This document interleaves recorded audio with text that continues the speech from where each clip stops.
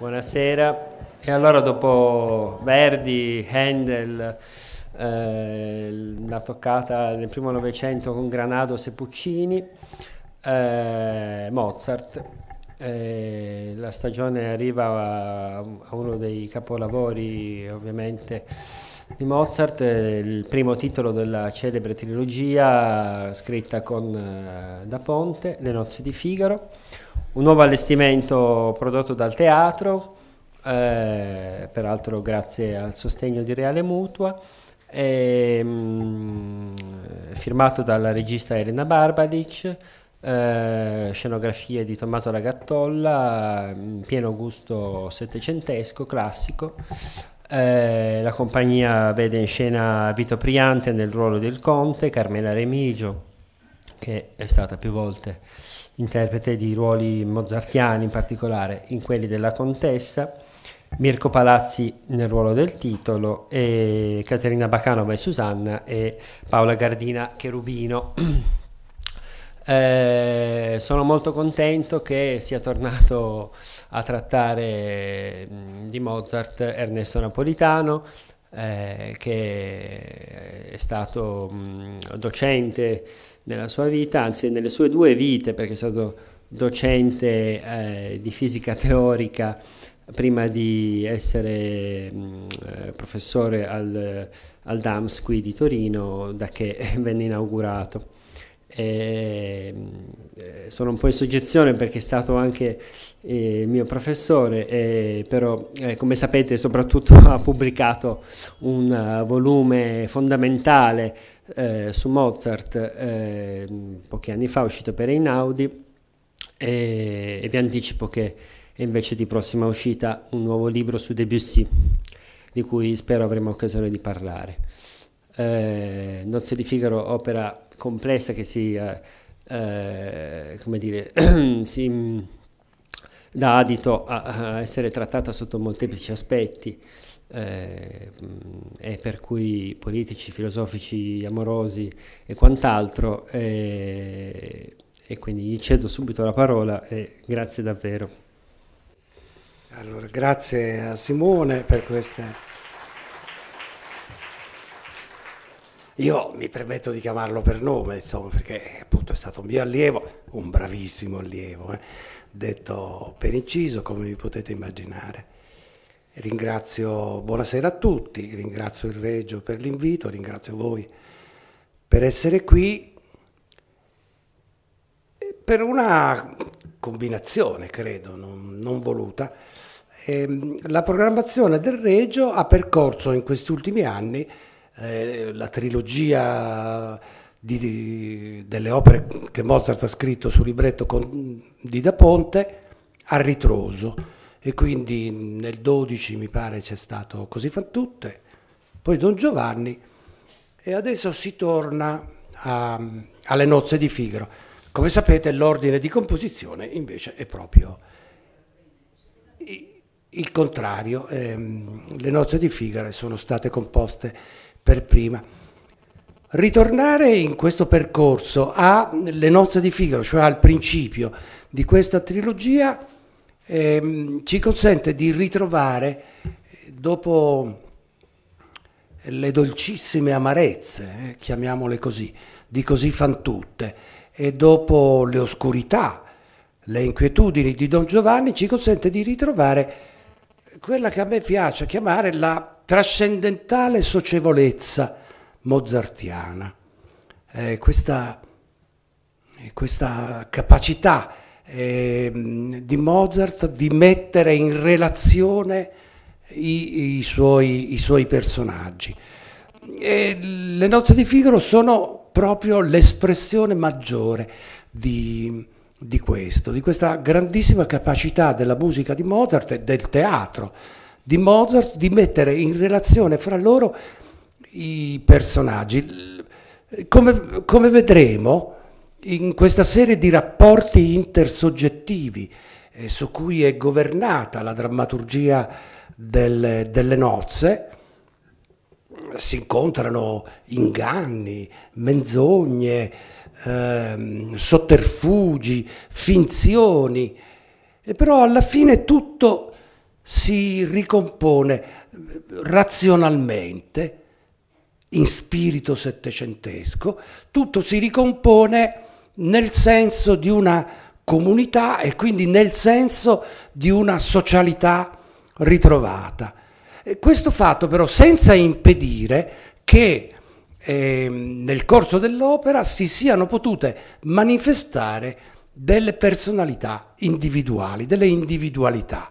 Poi, come sappiamo, l'opera successiva, Don Giovanni, sarà il culmine invece dell'affermazione della, della individualità. La prima idea di, che eh, da um, La Folle Journée ou Le mariage de Figaro, che è il titolo della commedia di Beaumarchais, si sarebbe potuto trarre un buon libretto per un'opera, la prima idea è di Mozart stesso.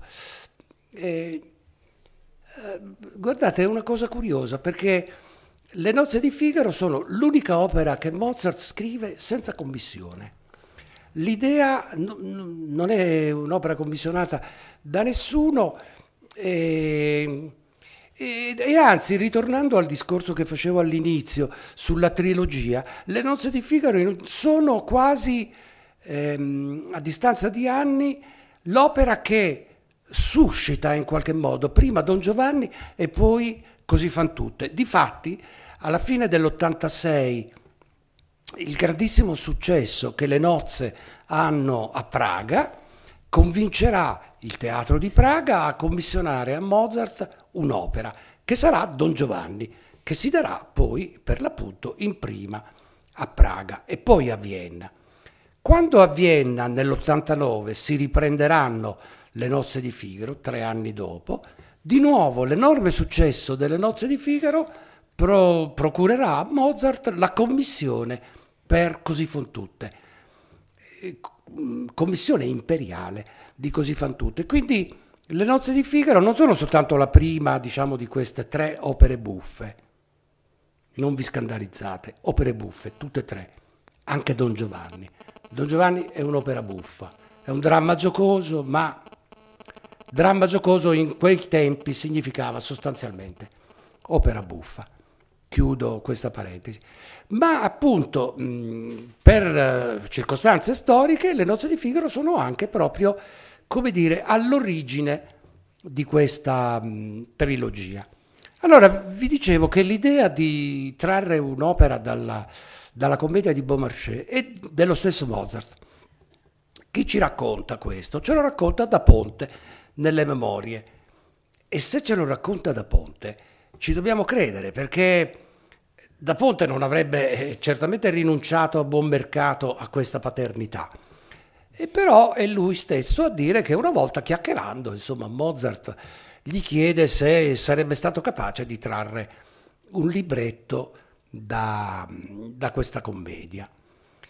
La commedia era ben nota a Mozart ed era ben nota a Vienna. La commedia di Beaumarchais era data in scena eh, il 27 aprile 1784 a Vienna.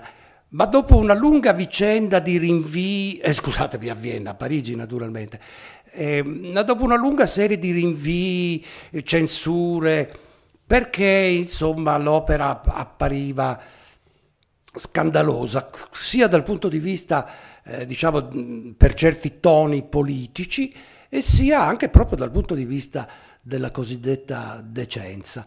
E, ehm, e poi finalmente, ben sei anni dopo eh, che Beaumarchais eh, aveva terminato insomma, di scriverla, l'opera va in scena con un grande successo di scandalo. Pensate che sei mesi dopo la messa in scena in teatro, in Germania esistevano già due traduzioni in tedesco di, della commedia di Beaumarchais e una di queste due è posseduta da Mozart. Come lo sappiamo? Lo sappiamo perché il libro è stato trovato poi nel lascito eh, della biblioteca mozartiana e quindi Mozart aveva letto questa, questa traduzione. Era quasi sicuramente stato anche um, nei primi mesi dell'anno successivo, 85, alle prove che la compagnia di Schikaneder stava facendo per mettere in scena appunto in teatro eh, la commedia. È una notizia interessantissima questa, eh, perché è uno dei momenti, diciamo, eh, con cui possiamo seguire il legame fra Mozart, il teatro di prosa e Schikaneder. Come sapete, Schikaneder sarà poi il librettista del, del flauto magico. Però quella messa in scena, appunto, programmata da Schikaneder, non avverrà mai, perché interverrà anche, eh, anche lì un divieto, un divieto imperiale. Però poi a un certo punto, insomma, ehm, l'imperatore cambia idea. Ehm, da Ponte cerca di attribuirsi gran parte del merito di questo eh, cambiamento di, di idea, nel senso che dice sostanzialmente che è dovuto alle sue grandi abilità di, diplomatiche, però insomma Giuseppe II era tutto sommato un sovrano tollerante, come oggi c'è tendenza a vederlo da parte degli storici più avveduti, e emendata la commedia eh, di certi aspetti più velenosi contro, nei confronti della, dell'aristocrazia, si sarebbe potuto pur mettere in scena, si sarebbe potuta pur mettere in scena un'opera tratta da questo libretto. E di patti, verso la fine dell'anno, mm, Mozart comincia a lavorare alle, alle nozze di Figaro. come lo sappiamo? Lo sappiamo perché eh, Leopold, il padre di Mozart, scrive una lettera alla figlia in cui dice ah Mozart, eh, Wolfango sta lavorando alle nozze, alle nozze di Figaro e dice delle cose singolari. Un pezzo che conosco, una commedia assai faticosa, da trasformare molto liberamente traducendola dal francese, perché risulti efficace come opera. Bisognerà lavorarci attorno e discuterne prima di ricavarne il libretto che vuole lui. E ci sono un sacco di cose interessanti in queste poche, in poche frasi. Intanto pare di capire che a Leopold non piaccia poi tanto eh, questa definizione, una commedia assai faticosa, forse eh, gli sembrava un po' troppo complicata e, è difficile da trarre in musica. Ma questa è un'osservazione pertinente perché è la, più o meno simile a qualcosa che scrive anche nella prefazione al libretto lo stesso, lo stesso Da Ponte. Da Ponte dice che non ha potuto fare una traduzione della commedia di Beaumarchais perché, e qui l'osservazione è veramente molto acuta, perché i tempi e le dimensioni di un'opera, di un'opera in musica, sono diversi da quelli di un'opera per il teatro. E lui parla proprio di eh, quantità di materia, diciamo così, di materia drammaturgica e di numero dei personaggi. Lui dice, ho cercato di ridurre un po' la materia e quindi invece di cinque atti come la commedia, ehm, l'opera saranno quattro. E poi ho ridotto il numero di personaggi che invece di 16 saranno 11 sempre tanti, ed è vero. Pensate che, per esempio, alla fine di questa trilogia, così fan tutte, saranno soltanto la perfezione geometrica, diciamo così, di Così fan tutte, vorrà soltanto sei personaggi in scena. Qui sono undici, ma i cantanti sono dieci perché un cantante fa due parti, insomma. Allora Mozart alla fine dell'85 è già al lavoro e, e poi ci lavorerà eh, la prima metà dell'anno dopo. Insomma, il primo maggio del 1786 l'opera va in scena. Il primo maggio, avete, avete sentito bene. Eh, però bisogna dire che non c'era ancora stato, era ben al di là da venire, sia Carlo Marx che la seconda internazionale. Chiusa eh, anche questa parentesi. E l'opera ha successo? Ma i giudizi sembrano essere positivi, però fatto è che l'opera sta in scena soltanto otto giorni, che non è un, una grande misura di tempo. Invece il grande successo delle nozze, come vi anticipavo, prima sarà alla fine di quello stesso 1786 a Praga. A Praga il successo sarà incredibile. Pensate che un mese dopo che la messa in scena era cominciata, Mozart parte e va a Praga, giustamente anche per godersi insomma questo successo e dice e ci racconta che in città non si faceva altro che eh, citare le nozze e tutti andavano in giro canticchiando il farfallone amoroso. Non più andrai, farfallone amoroso.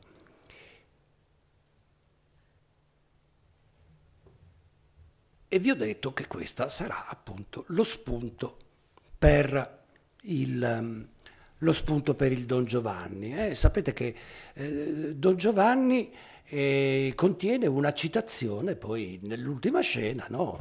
eh, la cena di, di, Don Giovanni, per l'appunto di Non più andrai farfallone amoroso, che questa volta non, non, sarà più rivolta insomma a un giovinetto ancora un po' indeciso, diciamo. Ehm, sulla sua scelta, nella sua scelta amorosa, ma sarà rivolta probabilmente sarà un monito probabilmente per, Mon, per Don Giovanni. E c'è pure un'altra, un altro addentellato, eh, questa volta con Così fan tutte, eh, invece che con Don Giovanni. Eh, in terzetto, nel terzetto del primo atto, un pezzo meraviglioso eh, di musica, appunto il discorso sulla trascendentale socievolezza, spirito di socialità mozartiana, un terzetto fra il conte Basilio e, mm, e Susanna. E a un certo punto Basilio se ne esce con una frase così fan tutte le belle eh? e in questo modo anticipa quello che sarà poi il titolo e anche il tema dell'ultima, dell'ultima opera con da Ponte. Prima, parlando delle difficoltà che aveva avuto la commedia di Beaumarchais, ho parlato di punte velenose che erano contenute nel, nel libretto, dal punto di vista politico. Eh. Ecco, vi leggo quella che è la pietra dello, dello scandalo di questo testo, un pezzo che è contenuto in un lungo monologo recitato da Figaro nel quinto atto. Figaro dice, nobiltà, fortuna, rango, cariche, tutto questo rende così fieri. Che avete fatto per meritare tutto questo? Vi siete dato la pena di nascere e niente di più. È chiaro che si sta rivolgendo al conte. Eh? Per il resto siete un uomo abbastanza comune, mentre io, per Bacco, sperduto in mezzo alla folla oscura, ho dovuto impiegare più scienza e calcoli. Insomma, qui è chiaro che anche la tolleranza di eh, Giuseppe II non basta più. Perché? Perché qui si sta attentando eh, al, al diritto dinastico, che è il perno della legittimità del sovrano. Che cosa avete fatto voi? Niente, siete semplicemente nato eh, nel luogo giusto eh, e nel momento giusto. Io sì che invece ho dovuto affermarmi nel mondo. Una cosa del genere è chiaro che nemmeno un sovrano tollerante può accettare. E di fatti questo passo non esiste eh, nemmeno nel, mm, nel libretto delle nozze, anzi tutta la tirata eh, di Figaro nell'ultimo atto non c'è. Questa tirata è sostituita da mm, un pezzo che Figaro canta contro le donne, è un pezzo mm, misogino. Eh? Eh, aprite un po' quegli occhi, insomma, eh, in, si rivolge a tutti gli uomini eh, mettendoli in guardia dalle insidie delle donne e dalle insidie dell'innamorarsi. Tutto questo non c'è ma per capire bene il rapporto, diciamo, di un'opera come Le nozze nei confronti della nobiltà del tempo, bisogna fare eh, due osservazioni, cioè per non sopravvalutare eh, il carattere scandaloso, questo carattere scandaloso di cui ah, abbiamo, abbiamo, parlato. La prima osservazione è che gran parte della, dell'aristocrazia europea del tempo e anche francese doveva certamente condividere buona parte delle idee sociali che si esprimono nel mariage de Figaro. Quanto poi alla nobiltà, in particolare quella, quella eh, austriaca, quella, eh, non si deve pensare che si tratti di un organismo compatto, tutto... Eh, bisogna fare almeno una distinzione fra l'aristocrazia di corte e i nobilotti di, di, di paese, diciamo di provincia.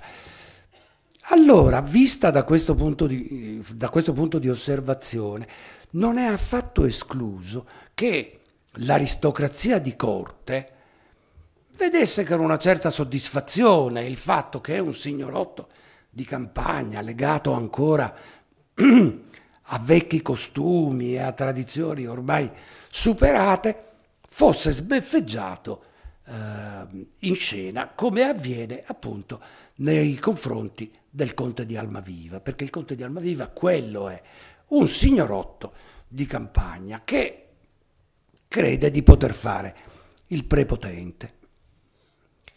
E allora, alla luce di queste eh, osservazioni, uno potrebbe con- concludere, ma allora sono proprio così innocue dal punto di vista politico, sociale, così anacquate le nozze di Figaro di Mozart e da Ponte rispetto al mariage de Figaro. Certo, se uno si ferma insomma, al testo può apparire, può apparire così, ma se poi si va a vedere un po' a certi aspetti e soprattutto a come Mozart ha trattato certi pezzi, il giudizio potrebbe, potrebbe cambiare. Pensate per esempio a appunto alla cavatina di Figaro, eh, che è il terzo pezzo che si canta nell'opera, quindi viene cantata proprio eh, in una delle primissime scene, se vuol ballare signor Contino. Eh, il chitarrino le suonerò, eccetera, eccetera. È chiaro che già il testo contiene una presa in giro, ma se vediamo come Mozart tratta musicalmente questi, ve- questi versi, eh, la presa in giro diventa più bruciante, perché cosa sceglie Mozart per mettere in musica questi versi? Sceglie un minuetto. Allora, il minuetto, cioè la tipica danza di corte, sembra quasi che eh, il servo, cioè Figaro, dica al conte che gli vuole insegnare a ballare eh, sul ritmo e sulle movenze di una danza che il conte conosce benissimo perché è la danza che pertiene al suo, al suo titolo. Poi nella seconda parte dell'aria fa ancora di peggio perché il, cambi, il, il passo eh, del ritmo cambia e eh, interviene un ritmo di un'altra danza che è una contraddanza. La contraddanza è una tipica danza popolare invece eh, austro-tedesca. Allora sembra di nuovo che eh, l'impressione è che Figaro stia trascinando il conte in una danza che lo abbassa e lo umilia a un rango, in, a un rango inferiore. Quindi Mozart usa in in senso, mm, secondo un aspetto semantico, possiamo dire, quindi come un fatto eh, simbolico significativo, eh, le danze che sta impiegando in questo pezzo, se vuol ballare signor, eh, signor Contino. Naturalmente quando, quando mm, Figaro canta questo pezzo eh, il conte non c'è. Se, eh, se vogliamo eh, invece un, un, faccia a faccia eh, fra Figaro e il conte, eh, in cui Figaro faccia, in cui Figaro sia capace di affermare eh, se stesso nei confronti del conte, dobbiamo aspettare un po'. Allora, questo pezzo qui, vi ho detto, è uno dei primissimi che si canta nell'opera. Se vuol ballare, signor continuo. Il momento invece del faccia a faccia ci porta al secondo atto e ci porta a un momento del, di quel grande finale, il finale del secondo atto è probabilmente il più grande finale che Mozart abbia scritto per un'opera. Eh, da Ponte parla di questi finali mozartiani come di una commedia nella commedia. Eh, dovessimo soffermarci su quel finale dovremmo fare una conferenza dedicata solo al finale del secondo atto. Noi coglieremo quello che così, qualche cosa che ci serve per il nostro discorso. Allora, c'è un momento in questo, in questo finale in cui eh, appunto mh, mm, il conte si rivolge eh, a Figaro chiedendo ragione di un certo, di un certo, di un certo foglio. Anzi, per la verità, non è tanto il conte il primo a chiedergli, a chiedergli ragioni, ma è un personaggio minore che si chiama Antonio e che fa il giardiniere. Antonio ha visto qualcuno che si buttava, che si lanciava dalla finestra. Eh? Noi sappiamo che, era, che, che, è stato Cherubino a lanciarsi dalla mm, finestra e che gli ha rovinato tutti i fiori che lui eh, coltiva con tanta, con tanta cura.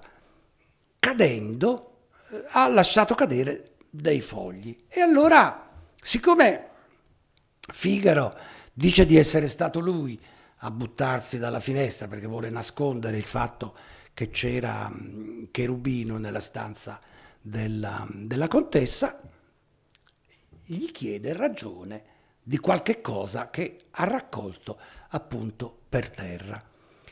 E che cos'è questo qualche cosa? È la patente, la patente da ufficiale di Cherubino, perché Cherubino l'ha fatta grossa eh, e il conte lo ha cacciato. Però non lo ha cacciato di brutto, insomma. Promoveatur ut amoveatur. Lo ha mandato lontano promuovendolo eh, ufficiale. E allora eh, questa è la patente che deve riconoscere che lui è diventato ufficiale. E allora eh, Figaro si trova molto in difficoltà insomma, a spiegare eh, perché eh, gli fosse caduta questa patente, perché ce l'aveva lui. E allora le, mm, Susanna e, e, la contessa, che sono lì vicine, eh, suggeriscono sottovoce, mancava, mancava. E lui non capisce, e dice, ma mancava cosa? E, mancava il sigillo. Finalmente capisce questa parola e allora lì bisogna dire Figaro lavora veramente con un'arte sopraffina. Perché? Ormai sa qual è la risposta giusta, però tarda, tarda a dirla, perché si vuole togliere la soddisfazione con il conte. E il conte continua a insistere, ma cos'era, cos'era, perché? Lui tergiversa, Mozart a questo punto gli dà una mano perché fa in modo che la cadenza, la cadenza del pezzo scocchi proprio nel punto in cui lui dice mancava il sigillo. E naturalmente a questa rivelazione ehm, il conte rimane assolutamente sorpreso e rimangono sorprese anche la contessa e Susanna per la bravura e per la abilità con cui Figaro se l'è cavata. In questo faccia a faccia con il conte Figaro ha avuto certamente la meglio, ha avuto la meglio di astuzia e Mozart lo ha secondato dal punto di vista, dal punto di vista musicale. Abbiamo parlato un istante fa di, dell'uso che Mozart fa delle danze eh, e comunque dello spirito della danza ehm, dal punto di vista semantico, proprio per trasmettere dei significati. Eh, voglio segnalarne un altro che è anche questo del più grande di grande fascino. Questa volta ci spostiamo eh, nel, terzo, nel terzo atto, alla fine del terzo atto. Alla fine del terzo atto che cosa succede? Mm, ci sono dei festeggiamenti per le nozze di, imminenti, le nozze di Figaro e di Susanna, e per la verità anche quelle di Marcellina con Bartolo, ma insomma non anticipiamo, magari diremo meglio fra un po'. E, e però nel mentre che si, si festeggia, ehm, il conte, Susanna vuol, dare, vuol fare, dare un appuntamento al conte eh, per la sera, per incontrarlo la sera nel giardino. È un inganno naturalmente, perché poi non ci andrà lei. Però bisogna eh, passare questo biglietto al conte, il biglietto che sarà chiuso con una spilla, una spilla che poi passerà a, Cheru- a, a Barbarina e che Barbarina perderà. Voi direte, ma che pasticcio, ma è, che confusione. E così, in effetti, la storia e l'intreccio drammatico delle nozze di Figaro sono quanto mai complicate. Eh? Raccontare le nozze di Figaro, cosa che non ci ho provato a fare, come avete visto, perché dopo è scontato che voi le conosciate, raccontare le nozze di Figaro è un'impresa niente affatto semplice, eh, perché sono veramente una struttura drammatica di grande sottigliezza e di grande complessità. Allora ritorniamo a questo finale del terzo atto, biglietto che passa a, da Susanna al conte, e questo passaggio avviene durante eh, una danza curiosissima perché è un fandango, è una danza di origine spagnola. Perché una danza di origine spagnola? Perché eh, delle, un modo che aveva inventato Beaumarchais per cercare di evitare le critiche era di togliere, eh, diciamo, di fare in modo che la vicenda non si svolgesse mm, in Francia ma si svolgesse in Spagna. Quindi danza spagnola, un fandango. Mozart inventa un fandango meraviglioso, lo, lo sentirete eh, chiuso in, fra queste marcette semplici semplici che si ascoltano lì in questo finale del terzatto, a un certo punto viene fuori questa danza che nasce da un trillo, e, quanto mai misteriosa e quanto mai sensuale. E in effetti la situazione è proprio così, perché attraverso quel biglietto deve passare un messaggio che Conte, il Conte crede, di essere, crede essere un messaggio amoroso, un messaggio, come dire, di offerta e sensuale da parte di, di Susanna. Questa presenza in, in alcuni luoghi che vi ho segnalato dello spirito della danza ehm, nelle nozze di Figaro è legata al fatto che una delle caratteristiche principali dell'opera è quella che possiamo chiamare la corporeità. Eh, in quest'opera ci si tocca, ci si sfiora, ci si veste, ci si denuda, ci si traveste. Eh, il contatto fra i corpi, quella intersoggettività di cui vi parlavo al principio, e non è soltanto una cosa, diciamo, che si manifesta nel dialogo, nelle parole, nella musica, ma proprio si manifesta anche nel senso proprio dei contatti che eh, avvengono fra, fra, i personaggi. E voi mi direte, vabbè, ma questo però è soltanto a livello di drammaturgia, è soltanto a livello di, di spettacolo, non c'entra niente con la musica. non è mica vero, c'entra tantissimo con, uh, con la musica. Ci sono dei momenti, eh, per così dire, tattili eh, nella musica di, delle nozze di Figaro, veramente eh, sorprendenti. Uno è sempre in questa specie di pozzo di San Patrizio che è il finale secondo eh, del secondato dove si trova, dove si trova di tutto. E a un certo punto si devono nascondere eh, Susanna e Cherubino e cantano un brevissimo duetto, aprite presto aprite, eh, in cui tutto questo senso della velocità, del nascondersi, è in realtà strettamente contenuto nella, nella musica. Tutto passa velocissimamente dall'uno, dall'uno all'altro. È un pezzo che si brucia in pochissimi, in pochissimi secondi. Un altro momento in cui la musica si fa azione, per esempio, è sempre, nel secondo atto, nel secondo atto in un momento in cui Susanna traveste eh, da, da, donna, traveste da donna cherubino, venite e inginocchiatevi. Eh? Venite inginocchiatevi perché adesso gli deve togliere gli abiti maschili e vestirlo con abiti femminili. Siamo nella eh, stanza da letto della contessa. E questo è un altro di quei momenti in cui la musica stessa diventa, diventa azione, perché è un'aria cantata da un personaggio solo, canta soltanto Susanna, ma in realtà sembra un duetto, perché Susanna si sta rivolgendo eh, a un secondo personaggio, che è Cherubino, ma poi potrebbe anche addirittura sembrare un terzetto, perché presente a questa vestizione e svestizione prima c'è la contessa.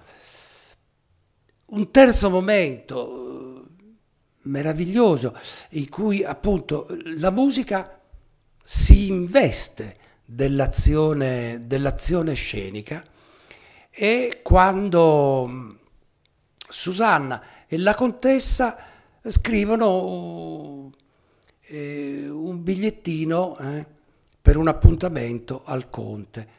Mm, e, e, allora eh, eh, questo qui, che soavi zeffiretti, sono le parole con cui inizia questo, questo duetto.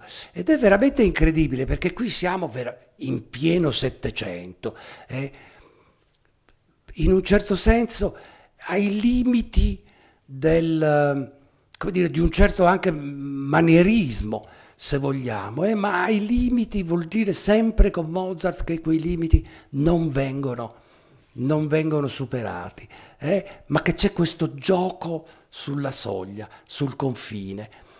E, e allora che cosa, che cosa, si dicono questi due personaggi femminili? Eh, beh, eh, si dicono eh, l'ora in cui, che, che, che deve essere scritta nel biglietto per dare l'appuntamento al conte, eh, l'ora è questa sera, è il luogo sotto i pini del boschetto. E poi, e poi nient'altro. Perché? Perché poi il resto lo capirà. Ed è incredibile come questa, questa parola, il capirà, eh, circoli fra i due personaggi e, e, che si scambi fra i due quasi fosse un modo con cui i due si danno il fiato, eh? è come un respiro che circola fra i due personaggi in una specie di movimento ipnotico, un movimento ipnotico che eh, ci fa dimenticare quanto quelle parole, il capirà, dovessero tutto sommato dispiacere alla contessa. Perché? Perché si sta scrivendo un biglietto finto naturalmente, però insomma finto con cui Susanna dà un appuntamento al conte quello di cui vi parlavo prima, quello che poi sarà sigillato dalla spilla. E che vuol dire il resto lo capirà? Che non c'è bisogno di dire altro, basta dire l'ora e dire il luogo, poi si capisce che cosa succederà lì. Ma insomma, per la contessa queste sono certamente insomma, parole che debbono uh, costituire insomma, un qualche dispiacere interiore, perché la contessa sa benissimo che il conte fa la corte a Susanna e insomma non è che sia particolarmente felice di, di questo.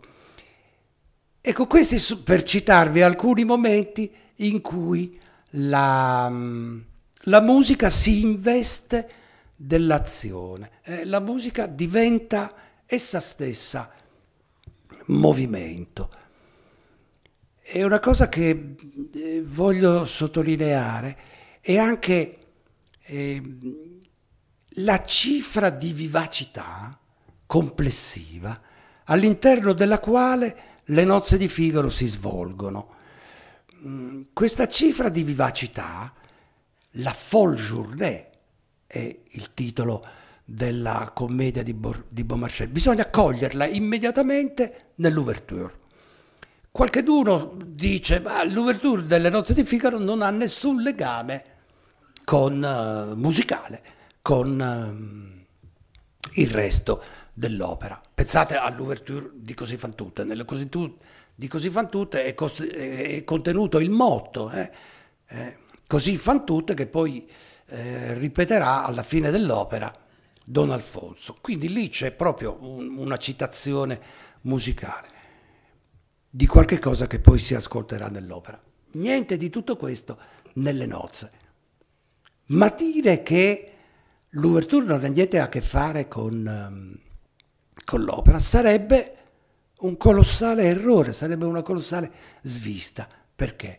Perché in realtà è lo spirito dell'opera che è catturato dall'ouverture. L'ouverture va staccata a un tempo velocissimo, cosa che ahimè non tutti i direttori d'orchestra fanno, perché questa cifra della velocità, della rapidità con cui si devono svolgere gli avvenimenti e con cui si deve vivere la, vi, eh, vivere la vita.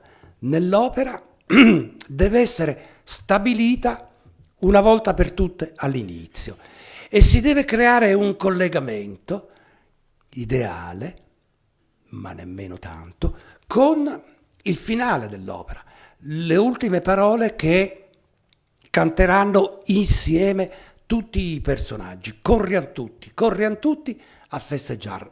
Altro pezzo alla fine che si deve staccare a un tempo velocissimo, perché lì si chiude l'arco e la parabola che era stata annunciata all'inizio dall'ouverture. Quindi l'ouverture non ha, come dire, vicinanze tematiche con nessun pezzo dell'opera, ma ha una vicinanza spirituale di contenuto profondissima con, con tutta l'opera.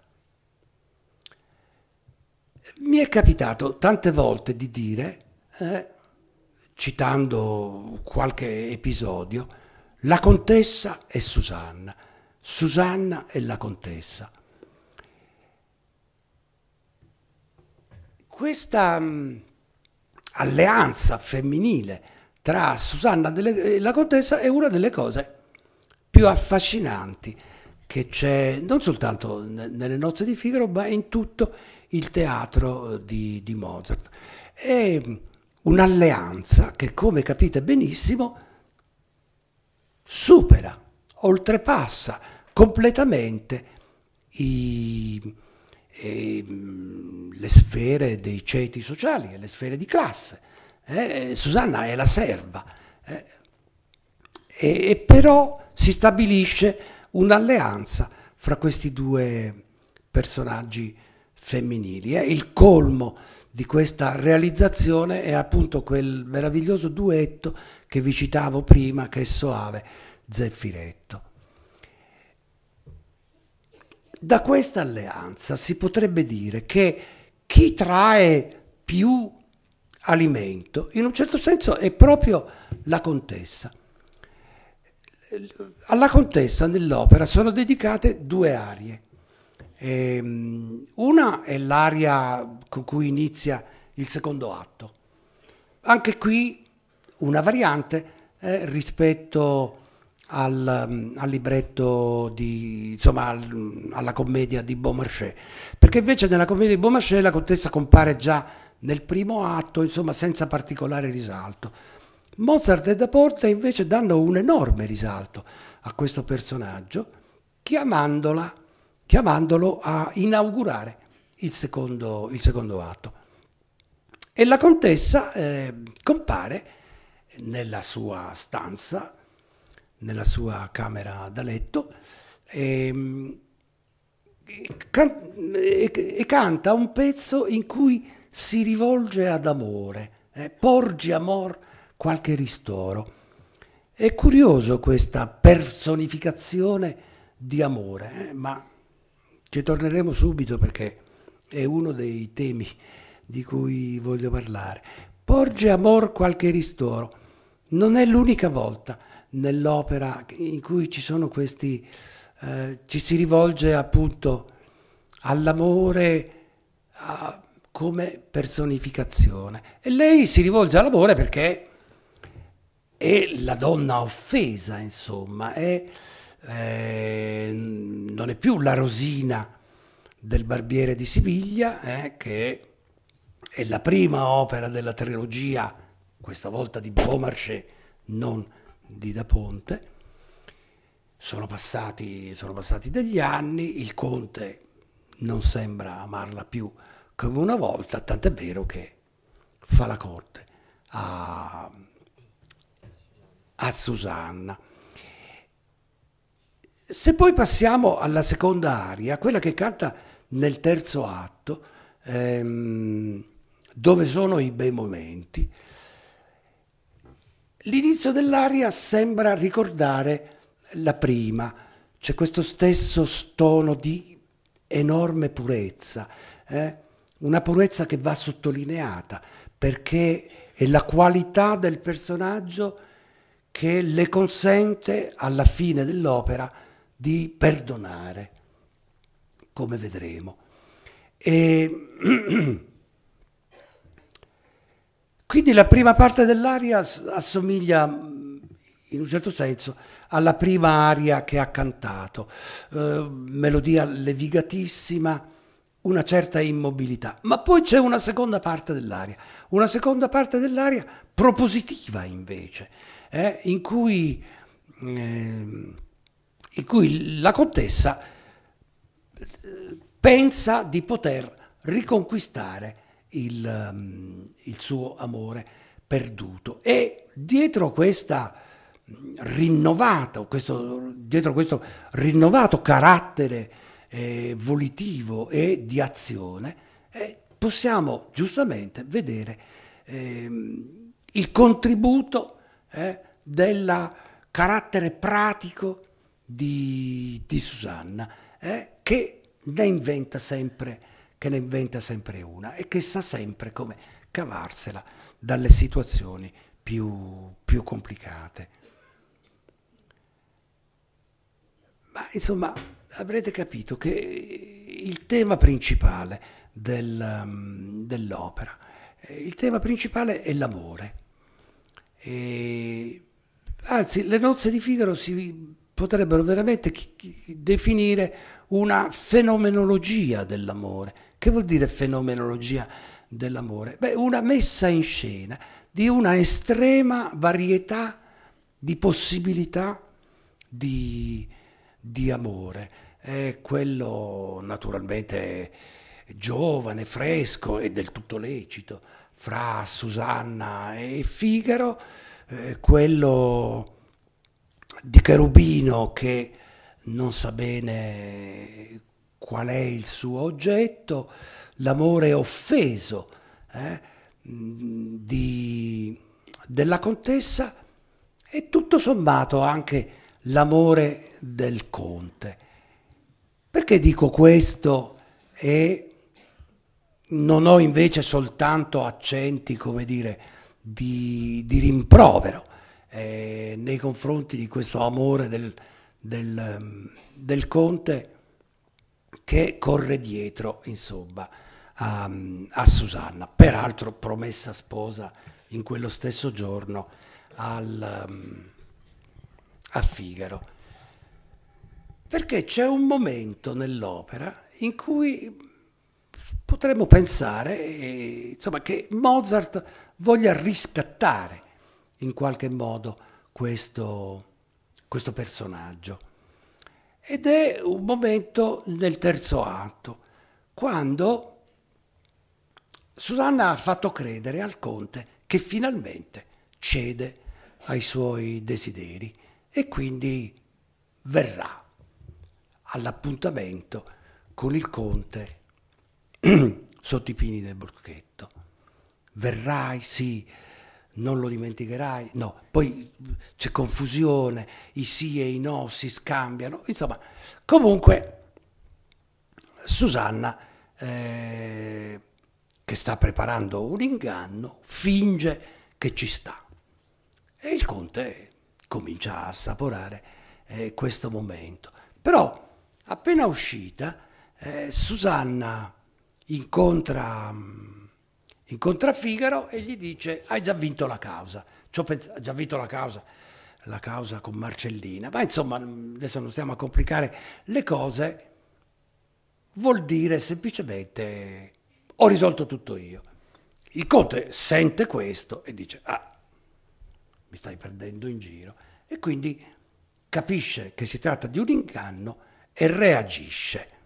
Mm? Ecco, eh, reagisce con, una,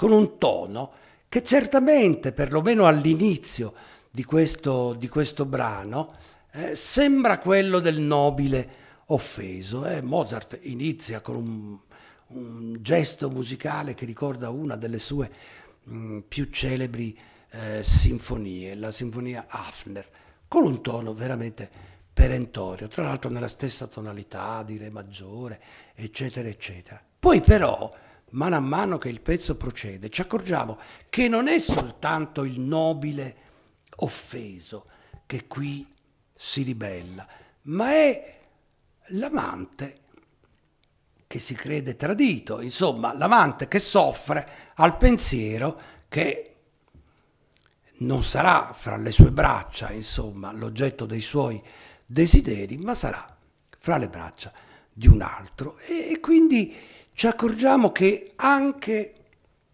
il conte eh, entra a far parte a buon diritto in questa fenomenologia, del, fenomenologia dell'amore. Quindi Eros è il personaggio principale del, se vogliamo, dell'opera. Eh? Un personaggio che però dobbiamo vedere, per così dire, come influenza il comportamento di tutti quanti.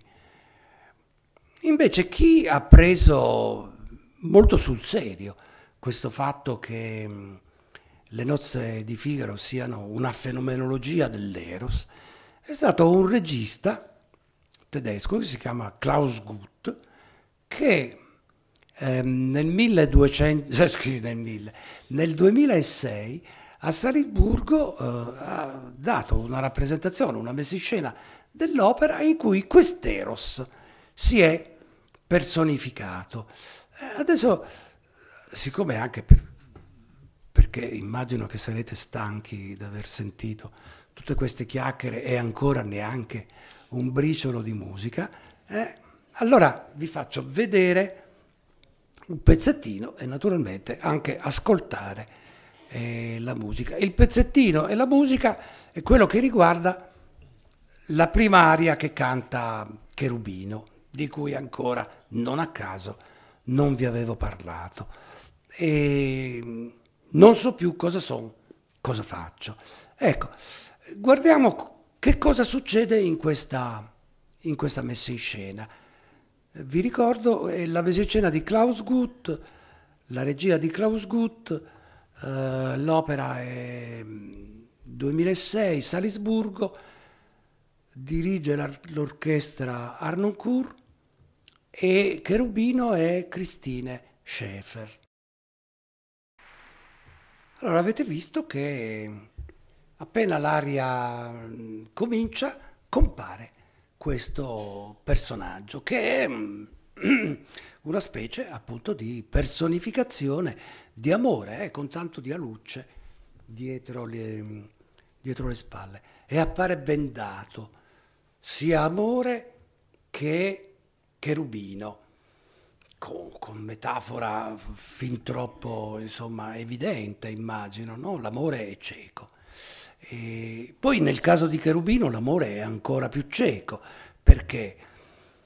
Perché appunto cherubino non sa dove indirizzare mh, il suo amore. È innamorato di tutte, di tutte le donne. È innamorato dell'amore. Avete visto che c'è un altro simbolo anche eh, su, per terra, eh, si intravede una mela. Non, non, oso nemmeno suggerire, insomma, il pomo, la mela, che cosa, a che cosa potrebbe alludere.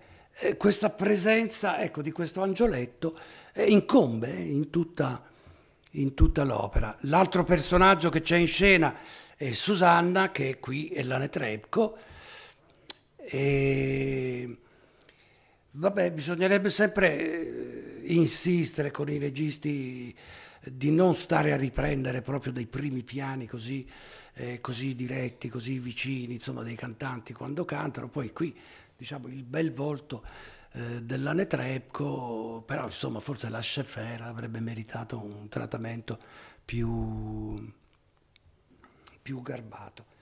E che Schaeffer peraltro, che canta peraltro benissimo questa, quest'aria, è una grande stilista, è una che è passata da La Passione secondo Matteo, eh, a cantare Lulu. È stata probabilmente una delle più grandi Lulu degli ultimi, degli ultimi anni. Ecco, quella presenza di questo Eros incombe, come avete visto qui incanta eh, i tre personaggi, fa dei gesti magici eh, attorno a, a Susanna. Cioè, va bene, eh, però Klaus Gutt è un regista che va preso con assolutamente con molto rispetto e gli si deve quello che io personalmente penso che sia il più bel e il più sconvolgente, soprattutto Don Giovanni degli ultimi, degli ultimi anni. Eros.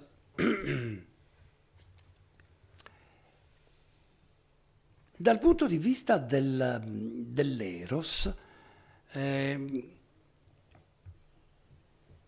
si potrebbe stabilire un paragone fra, anzi è stato sempre stabilito, eh, un paragone fra Don Giovanni e, e Cherubino.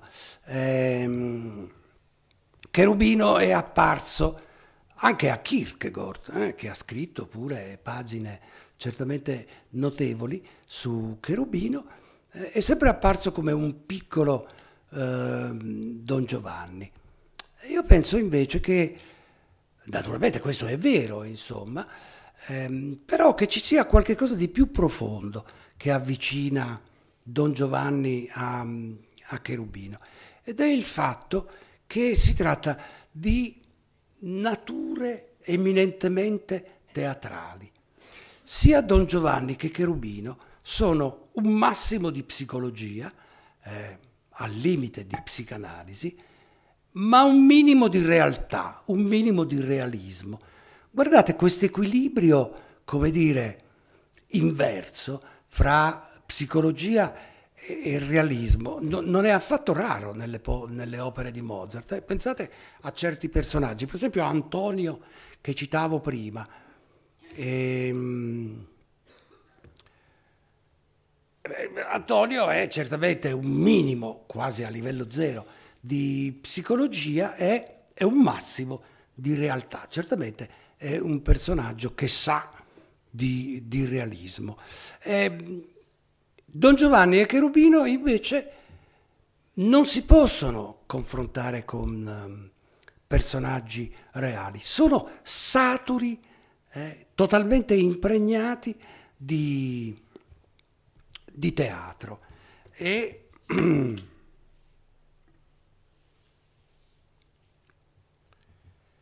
Kierkegaard diceva che, eh, che Cherubino um, non si desta al movimento, ma alla quiete silenziosa. Vabbè, l'esempio di prima non è proprio i più pertinenti perché il tempo staccato da Arnoncourt non era dei più felici. Secondo me questo pezzo andrebbe staccato in modo molto più vivace. Però non mi sembra giusto. Eh, se c'è invece un, un personaggio eh, il, al quale si addice la cifra del movimento, dell'irrequietezza, dell'argento vivo addosso, è proprio, è proprio Cherubino. Cherubino è l'amore indeterminato, è, è, è, l'amore che non sa come collocarsi. Mm, l'altra aria che canterà nel secondo atto, voi che sapete che cosa è l'amore, eh, si rivolge praticamente a tutte le donne, anche se si sta rivolgendo di fatto alla contessa e a Susanna per le quali canta questa serenata e mm, sarà il manifesto della sua, eh, come dire, del, del suo desiderio eh, di amore. Ed è, ed, è molto, ed è molto curioso perché è una specie di amore dell'amore che non ha, che non ha oggetto.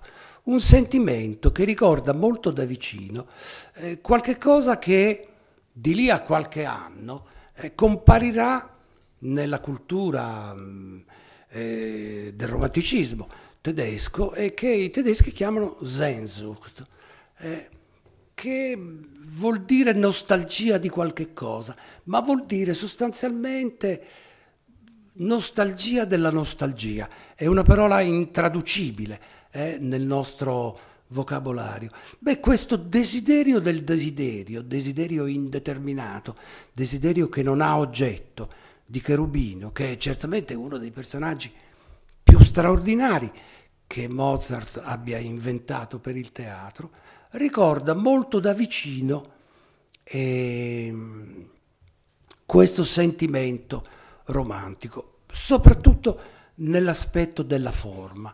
Con questo voglio dire che ci sono dei momenti pre-romantici nel, nelle nozze di Figaro? Direi di no. Eh, io sono sempre dalla parte di un Mozart settecentesco, di un Mozart che poi l'addizione di pre-romantico, devo dire, non mi è mai molto piaciuta perché Insomma, significa sempre qualche cosa che ancora non è perfettamente compiuto. È pre qualche cosa che si compierà dopo.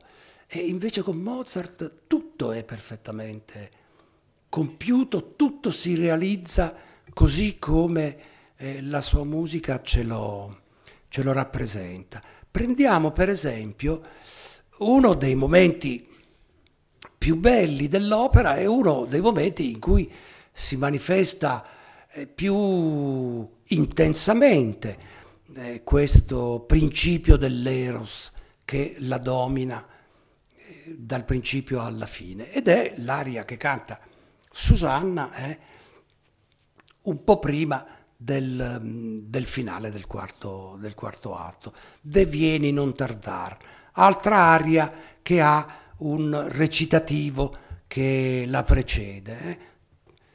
La contessa, il conte, Susanna hanno tutte delle arie precedute da un recitativo. È un segno di importanza ed è un segno di importanza che giustamente Mozart non concede soltanto ai personaggi nobili dell'opera, il conte e la contessa, ma concede anche a Susanna, che è la serva, eh, ma che ha, come dire, una statura eh, nell'opera che prescinde eh, completamente dal suo ruolo, una cosa che del resto, come vi ho detto prima, la contessa capisce benissimo, tanto è vero che si allea con lei. E in, questa, in quest'area da Vieni eh, non tardar si manifesta eh, anche, eh, sapete, un'aria che ehm, eh, Susanna finge di cantare eh, per il conte e quindi serve a ingelosire Figaro, ma in realtà la sta cantando per Figaro, solo che Figaro è un po' duro e non, e non capisce, anzi si ingelosisce, ma poi avrà anche lui quello che, che si merita. Ed è un'aria piena di, eh, di, di voluttà, piena di, piena de- di desiderio. È un momento di grandissima pienezza di sé ed è anche un momento di grande accordo con la natura, eh, una natura che nell'aria Susanna evoca eh, con, uh, i suoi, con i versi che sta, che sta cantando, perché l'aria si svolge in un giardino, il giardino che poi il boschetto dei pini di cui parlavamo prima, e che poi accoglierà l'ultimo, l'ultimo finale dell'opera. Quindi è un momento di grande pienezza, è un momento di estasi ed anche di grande fusione con, con la natura. È uno dei rarissimi momenti nella musica di Mozart in cui la musica, in cui la natura ha un ruolo. Soltanto Idomeneo ha momenti in cui la natura ha un ruolo importante nella musica di, di, Mozart, altrimenti la musica di Mozart è quasi sempre una musica della città, eh? una musica urbana, è una musica di rapporti fra le persone, è una musica della socievolezza trascendentale, come, come vi dicevo prima. Questo invece è un momento veramente di grande accordo con la natura. Beh, ci aspetteremmo che qui ci sia qualche cosa di preromantico. Non c'è nulla di preromantico. Anzi, la cosa veramente sorprendente di questo brano è che questo senso di pienezza, questo senso di grande accordo con la natura sia del tutto privo di eh, presagi eh, ottocenteschi. Beh, insomma, siamo vicino al finale dell'opera e anche al finale della, della mia chiacchierata e su questo finale invece un poco di più ehm, vorrei soffermarvi, perché è certamente uno dei momenti più alti di tutta, di tutta la musica di Mozart. Tantissime altre cose avrei voluto, avrei voluto dirvi. Eh, per esempio avrei voluto eh, sottolineare di più certi momenti in cui Mozart va oltre la stessa drammaturgia che sta in quel momento inventando. Va oltre in che senso? Va oltre con la musica che scrive.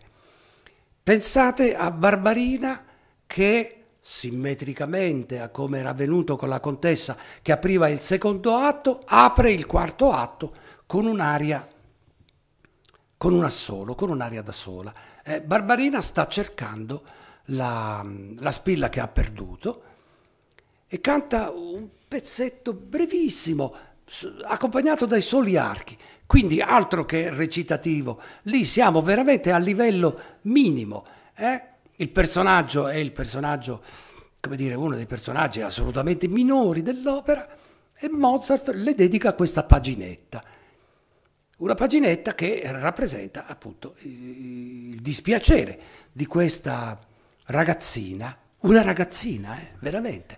Eh, alla prima a Vienna a cantare era la dodicenne eh, Annina Gottlieb, quella che cinque anni dopo canterà Pamina nel flauto magico. Quindi aveva 12 anni e canta questo pezzo. Questo pezzo è un pezzo di incredibile dolore, di incredibile sofferenza, ben oltre quello che sarebbe stato necessario per le esigenze drammaturgiche. C'è un altro momento nell'opera che vi voglio citare e che assomiglia da questo punto di vista a questo. Ed è quando, sempre nel famoso finale del secondo atto, mh, mm, Susanna, la contessa e Figaro si rivolgono al conte dicendo de signor non contrastate. Eh? Ormai insomma bisogna eh, decidere di queste nozze e che la smetta Figaro, eh, il conte di mettere ostacoli. Eh? E allora cantano un pezzettino in cui dicono de signor non contrastate i nostri desideri. A questo canto si unisce anche il conte, che però dice tutt'altro. Ebbene, questo canto a tre, poi in realtà è un quartetto perché canta anche il conte, eh, assume delle dimensioni di preghiera, di implorazione dolcissima, semplicissima, ma con una perfezione che rasenta, che rasenta veramente il sacro, che è ben di più di quanto l'esigenza drammaturgica avrebbe richiesto. Cosa voglio dire? Voglio dire che ci sono momenti in cui Mozart va così a fondo, coglie qualche cosa di così profondo delle cose che, di cui ci sta parlando e di cui, e di cui la scena ci racconta, che la sua musica dice molto di più di quanto sarebbe necessario dire dal punto di vista della drammaturgia. Beh, qualcosa del genere è quello che avviene nel finale. Eh, il finale è, un, è, il finale del perdono. Hm? Come sapete, insomma, la storia delle nozze di Figaro credo che la conosciate tutte, tutti.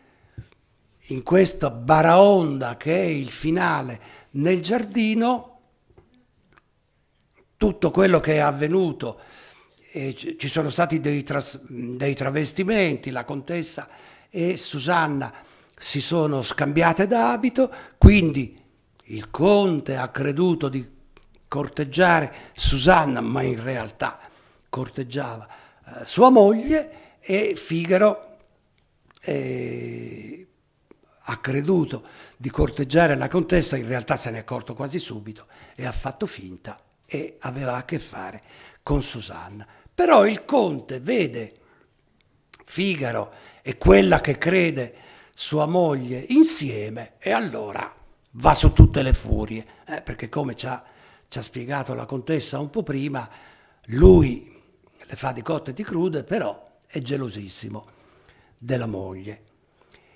E allora tutti gli altri escono da questo boschetto, si manifestano eh, dicendo perdono, perdono e lui no, no, no, no.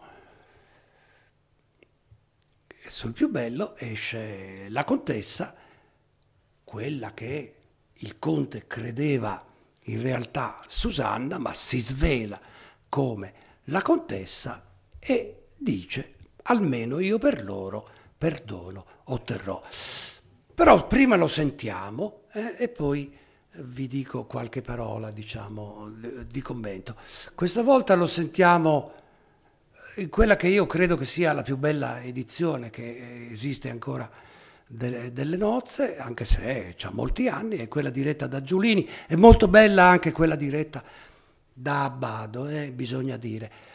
Ma insomma sono più affezionato a questa, questa è diretta da Giulini, qui la contessa Elisabeth eh, Schwarzkopf, insomma, e poi tutti gli altri, e suonano i Wiener Symphoniker.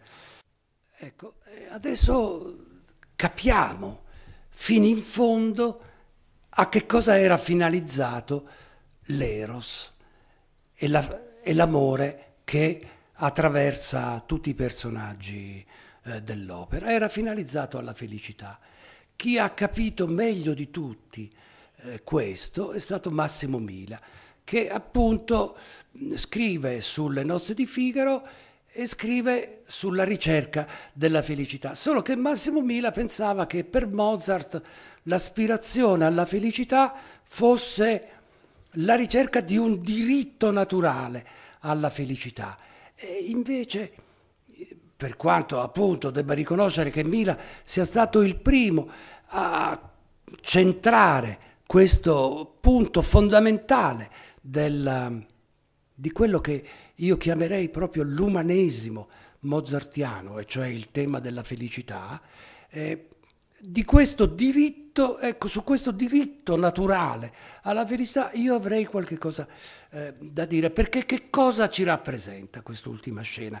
Che non c'è un diritto naturale alla felicità, ma che la felicità è il frutto, perlomeno in questo momento, perlomeno in questa situazione delle nozze, è il frutto di un gesto di generosità da parte di un personaggio. Ed è quel personaggio che si è, che si è presentato diciamo, sotto l'aspetto della purezza come vi sottolineavo prima, e cioè il personaggio della contessa che possiede questa eh, purezza, che è soprattutto purezza di canto, purezza di, di vocalità, purezza di linee, che le dà, eh, le consente di poter perdonare eh, il conte e però anche l'impressione che abbiamo è di poter perdonare tutti in questo finale,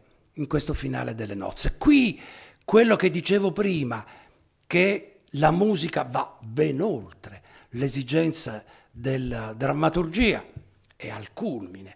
Avete sentito appunto come dopo le parole di perdono della, della contessa si levi un canto di tutti i personaggi che sembra veramente una preghiera di ringraziamento eh, e che sembra veramente la discesa in terra eh, di un paradiso che però è un paradiso tutto costruito dagli uomini, tutto costruito dai personaggi, dove non c'è un'ombra di, di metafisica.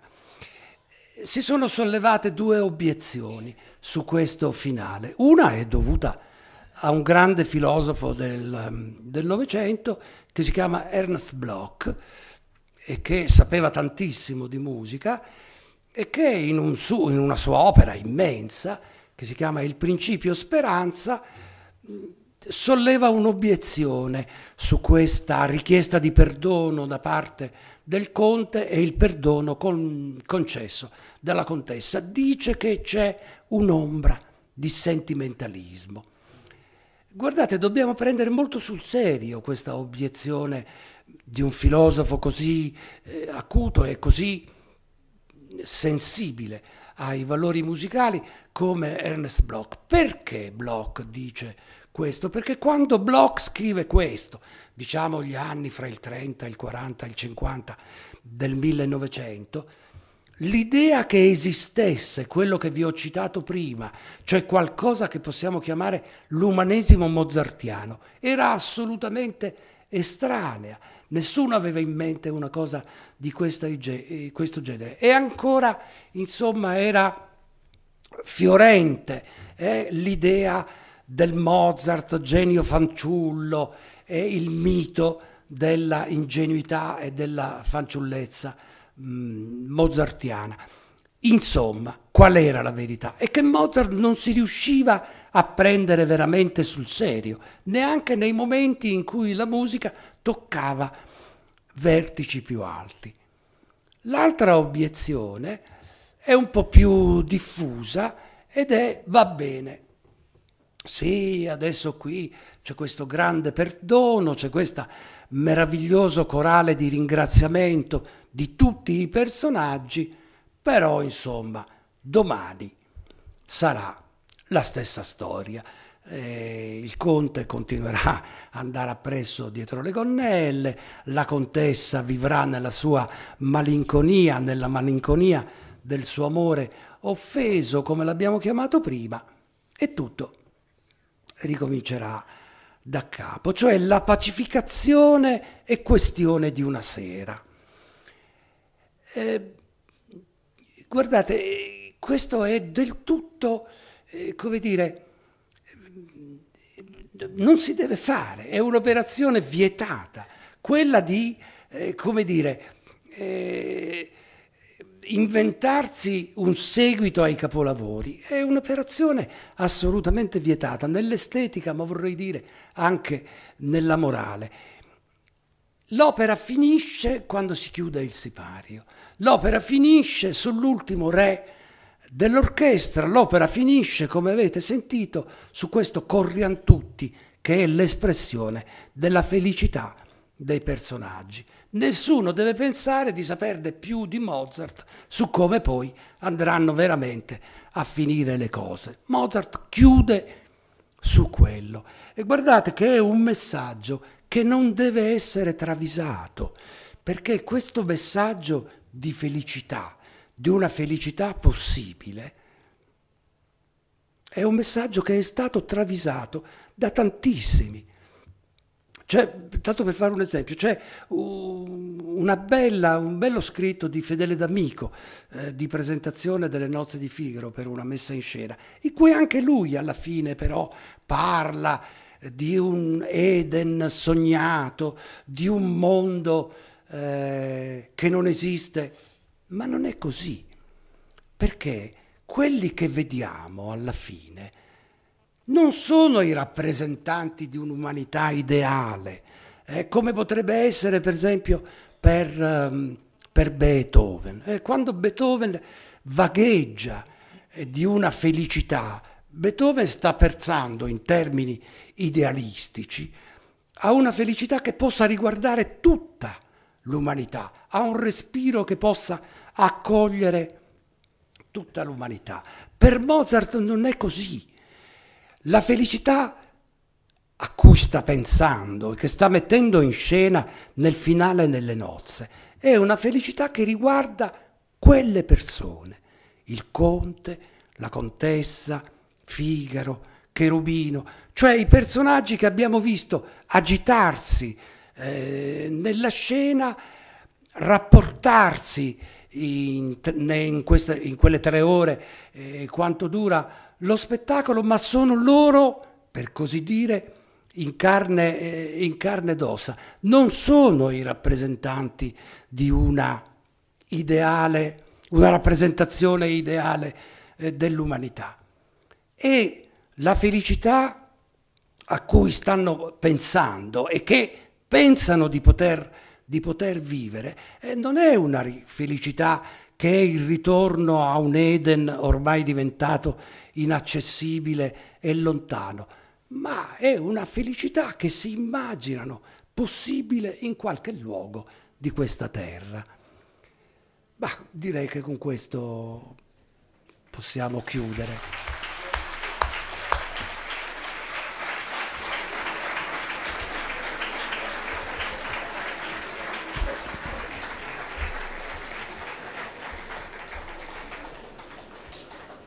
Beh, grazie dopo altro che chiacchierata, questa è eh, appunto una lezione magistrale su Nosse di Figaro. Abbiamo indagato, ma mm, non come il detective, ma come, come il filosofo, come il musicologo, come lo storico, sotto una miriade di punti di vista all'opera e per poi arrivare a questa conclusione felice e, e per eh, riconsegnarci in qualche modo eh, il rapporto con, eh, con quest'opera. Eh, mi limito a dire che potrete ritrovare diverse delle considerazioni che Ernesto Napolitano ha fatto qui anche nel programma di sala e oltre a ricordarvi che eh, l'opera felicemente eh, molto, uh, vede il teatro molto gremito per 11 recite, ci saranno anche due recite riservate alle, alle scuole, ai bambini e ai ragazzi in un nuovo adattamento firmato da Vittorio Sabadin, per cui anche 3.000 giovani eh, vivranno la folle journée eh, di Figaro e, e compagni. Buon divertimento e alla prossima.